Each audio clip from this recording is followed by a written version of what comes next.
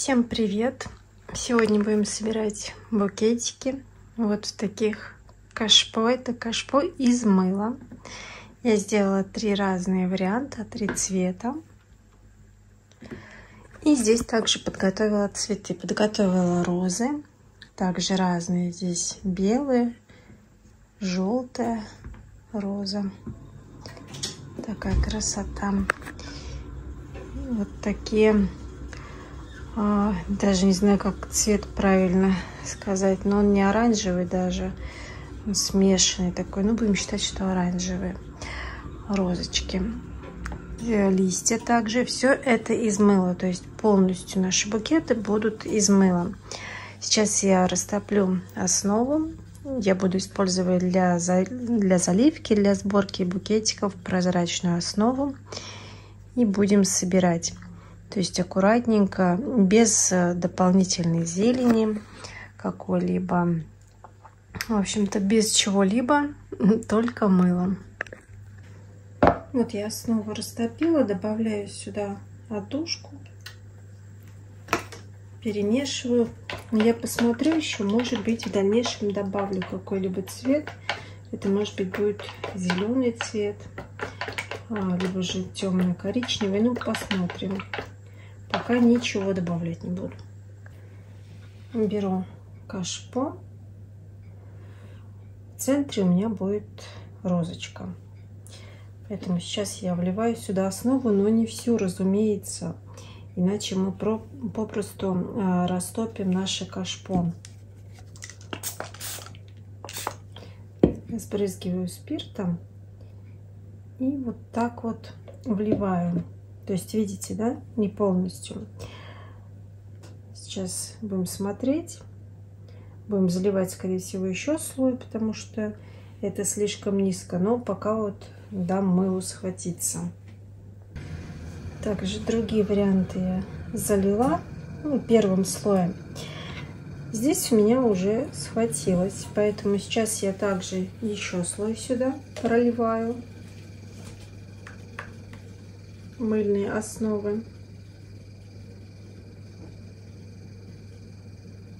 Видите, у меня уже немного застыло, но это не критично. И по-прежнему еще низко, то есть буду еще заливать. Но постепенно вот так, не сразу. Так, ну, здесь уже также схватилось. Теперь следующий слой. Так, немного.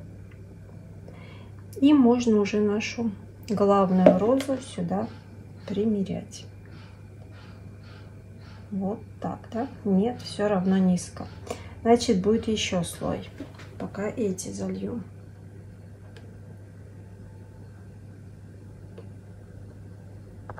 Ну что, следующий слой. Здесь вот, кстати, пузыри уже пора бы убирать.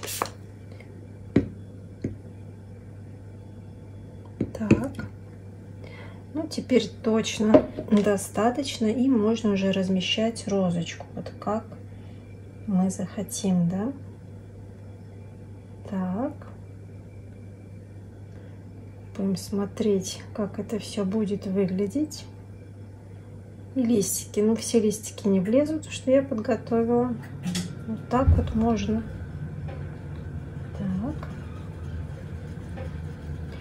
Нужно вот сюда не порушить нашу конструкцию. Ну и больше, в принципе, здесь никуда.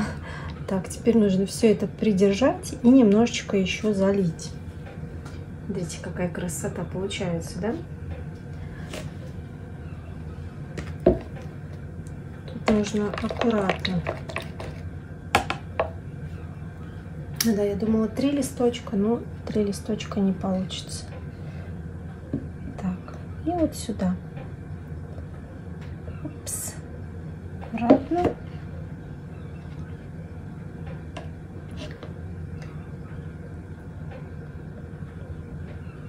Все. Подержим так немножечко, да, чтобы все схватилось. Не знаю, как вам, но мне очень нравится. И я решила вот эту основу прозрачную не смешивать ни с каким цветом, то есть так вот и залить. получается очень даже. Да, вот здесь вот немножко пусто, ну, честно вам скажу, это вообще не портит картину, посмотрите.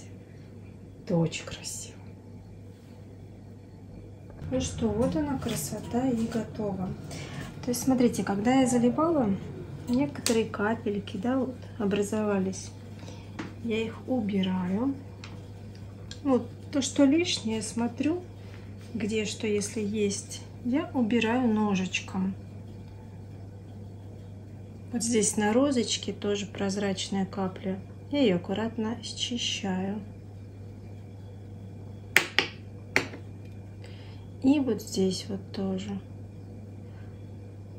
по свеже залитому мылу это не так сложно убрать, зачистить. Но результат, я вам скажу так, очень классный.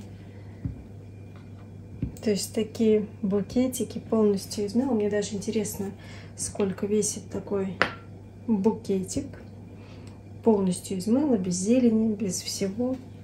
Сейчас мы с вами взвесим. Так, здесь весы.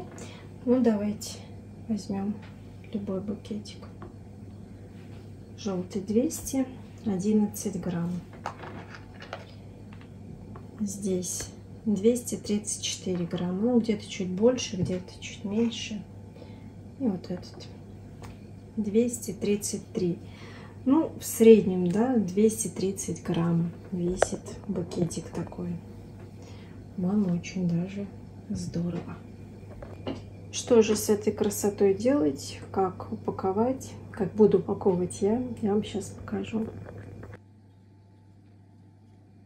Вот таким образом я помещаю в купол.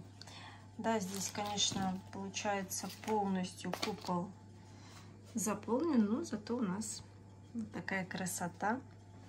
Весомый подарочек. Все, мои дорогие, вот такая красота получилась.